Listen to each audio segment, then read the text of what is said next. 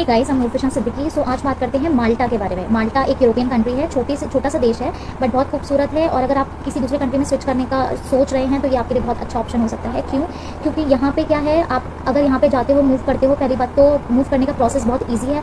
दूसरा, वहाँ पे ना टैक्स का जो एक स्लॉट है स्लैब बना रखा है, वो बहुत ही कम है as compare to other countries तो टैक्स के मामले में आप बहुत चीज़ों में बच सकते हो तो आप पैसे बहुत अच्छे खासे बचा सकते हो। As compare to other European countries यहाँ पे सैलरी का स्लैब आपको ज़रूर कम दिखेगा, पर वो सैलरी बच जाती है बिकॉज़ ऑफ़ टैक्स बेनिफिट ठीक है? सेकंड चीज़ अगर मैं बात बात बताऊँ तो ये हिस्ट्री वाइज अगर देखा जाए तो ये बहुत ज़्यादा देखने की जगह है यहाँ पे, यहाँ के आइलैंड्स ठीक है? और यहाँ की खूबसूरती देखने वाले लोग इसके लिए भी जाते हैं। फ्यूचर बहुत अच्छा रहेगा बिकॉज़ ऑब्वियसली एक शेंजन कंट्री है तो फ्यूचर बहुत ही अच्छा रहेगा। अप्लाई कैसे करना है वर्क के लिए?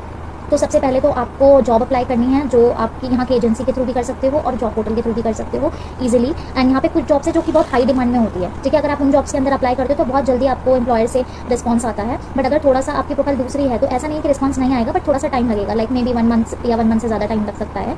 ठीक है, जैसे आपको जॉब मिलती है, फिर आपका एम्प्लॉयर आपके बिहाफ पे आपका वर्क परमिट अप्लाई करता है। देन वर्क परमिट अप्लाई करने के बाद आपको जैसे ही वर्क परमिट हाथ में आता है देन आपको वर्क वीज़ा अप्लाई करना पड़ता है। वर्क वीज़ा अप्लाई करके जैसे ही आप माल्टा मूव करते हो, फिर वहाँ पे आपको अपना रेजिडेंस परमिट के लिए अप्लाई करना पड़ता है। रेजिडेंस परमिट आपके पास आ जाता है जो कि वन ईयर के लिए वैलिड होता है और वहाँ पे आप अपना अपने एम्प्लॉय के साथ काम कर सकते हैं। ठीक है? This is all about Malta कुछ क्वेश्चन है इससे रिलेटेड तो प्लीज़ कमेंट में। तब तक के लिए ठीक केयर